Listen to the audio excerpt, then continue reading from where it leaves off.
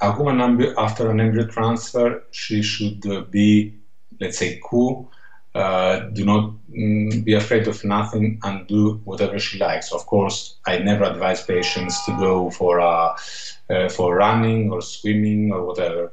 But of course, uh, being after embryo transfer, coughing after embryo transfer, traveling after, after the embryo transfer are not uh, problems for uh, success, for the success. Uh, nature is very, very well uh, created. Okay, that's uh, the truth, and uh, she knows that if the if everything worked perfectly, if the blastocyst is okay, if the endometrium is okay, if the patient is okay, then whatever the patient does after the embryo transfer, the pregnancy will go perfectly.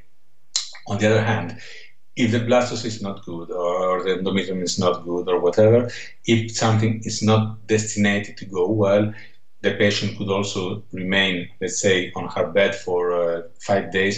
She will not be pregnant. Okay, I will always, uh, let's say, uh, say this story. I had a patient in Belgium that uh, she had the egg retrieval uh, she had the transfer, and the day after the transfer, she had a, a urgent laparoscopy for an ovarian torsion. So, mm, let's say worse than that, it couldn't be. Laparoscopy after the embryo transfer, and I assure you that she uh, delivered after nine months. So, if she has to be pregnant, let's say that it's her destiny, she will be pregnant.